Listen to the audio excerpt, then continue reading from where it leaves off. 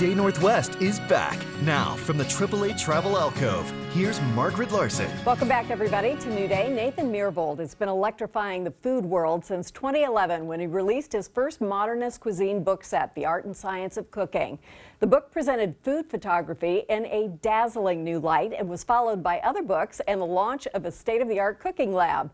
Galleries featuring Nathan's visionary photographs have opened in Las Vegas and New Orleans, and the third one opens tomorrow right here in Seattle. Nathan Myhrvold joins me now. It is so good to meet you. Likewise. You were the chief technology officer at Microsoft. I was. And so, and then now you've kind of gone into the the art and cuisine world. Where did that turn well, happen, or was it simultaneous to your other interests? Well, since I was a little boy, I loved cooking. Uh, when I was nine, I decided I would cook Thanksgiving dinner all by myself. Oh my goodness. And did.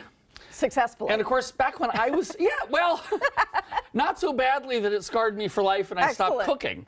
Um, and of course, when I was nine, being interested in computers was really a very different thing. Right, quite, quite a bit different. But these are such beautiful photographs. I want people to see a little bit of this, of, of your photography. Mm-hmm. You've come up with unique ways of photo. This is so beautiful. Do you meld your understanding of technology into the way you yes. approach this? So, um, uh, Look at those blueberries. Look at this stuff.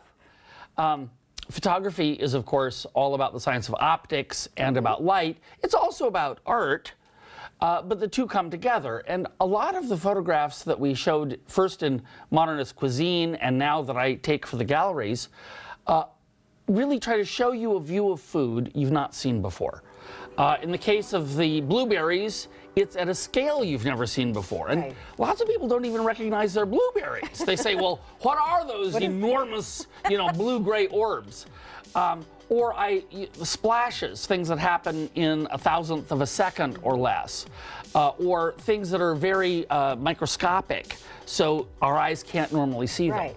And so I try to use view. technology and uh, some sense of uh, artistic um, uh, composition uh, to make cool food They all photos. go. Tell me about the lab. What happens at the lab? Well, our lab is. Do you need a taste tester? I would like to come to the lab well, okay. and, and so our out. next big book is on pizza. So we're making a lot of pizza yes. at the lab right Yes. now. yes, and we have we have proof recently that pizza is healthier than boxed cereal for breakfast. So There you we- go. We have moved into a brand new world.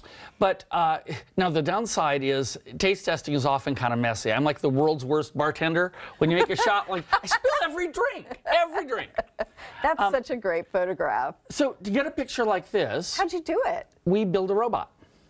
So we have a yeah we, we built a robot that could uh, accelerate and decelerate a platform and that we could uh, program and control. Right. Uh, and then we have a, um, a, very, a high-speed computer system that controls high-speed flashes and uh, the camera so that we can take it when it's up in its uh, its optimum. That's now, Did you build the robot yourself? uh, I and my people did, Yeah. yes.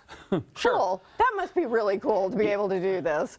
Look at the Um, sugar cubes and the lemon and all of that. It's absolutely wonderful. Let's take a look at another Now, photograph. the, the trouble with these shots, another pr- trouble is after you take them, you can't drive home.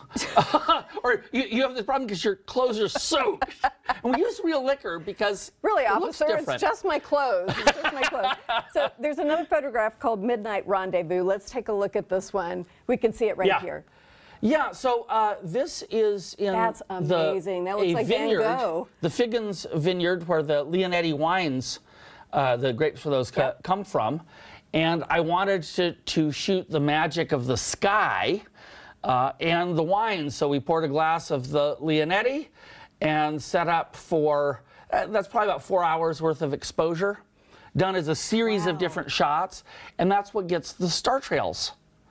Now, That's amazing. one of the things for this, though, is you need to have a vineyard that has north-south painting uh, Mm-hmm.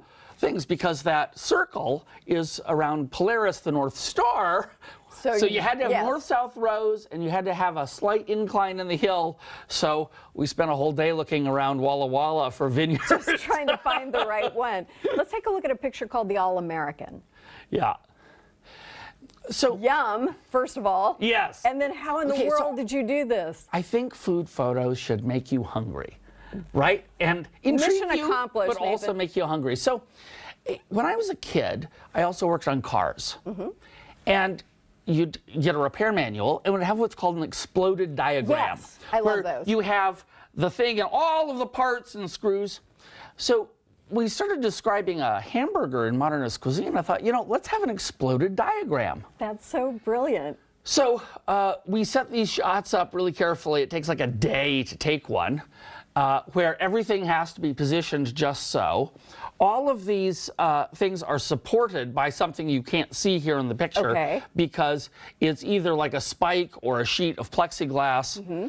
which is then has a, a flat black support that goes right back behind a So we velvet can't see curtain. it. Yes, yes. And that lets you uh, uh, put them all together. How did you get, is it onions on top or is that a condiment? How did you get Oh, those to? well, we have uh, uh, mayo, uh, ketchup, uh, chopped lettuce, tomato, cheese, uh, and then of course the the burger and the bun. That is fantastic. So people really enjoy these galleries and they see something new and different.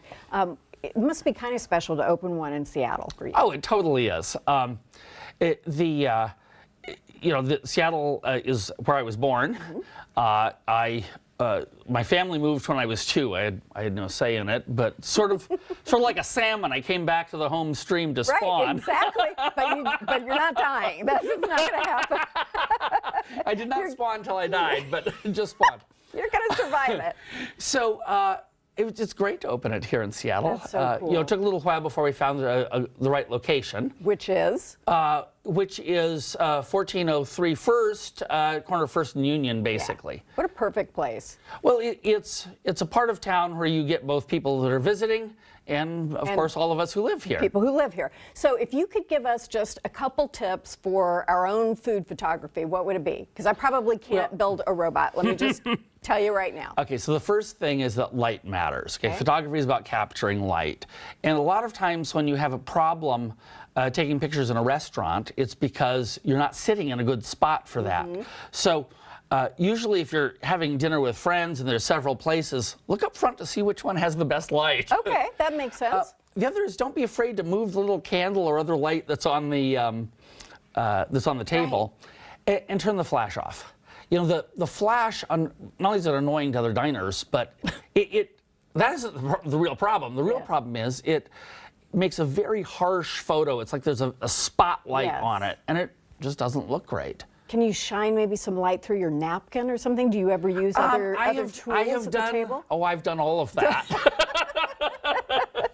Want to oh. watch it all happen. Nathan, thank you very much for visiting with us about this. Modernist Cuisine Seattle Gallery opens to the public tomorrow. It is next to Pike Place Market and across from the Seattle Art Museum. We posted links on New Day's homepage about the gallery and the Modernist Cuisine books. I so want a burger at this point. Up next, we're going to preview this weekend's Home Team Harvest with the story of a sponsor who has a very personal reason for getting involved in fighting hunger in our state. That's next.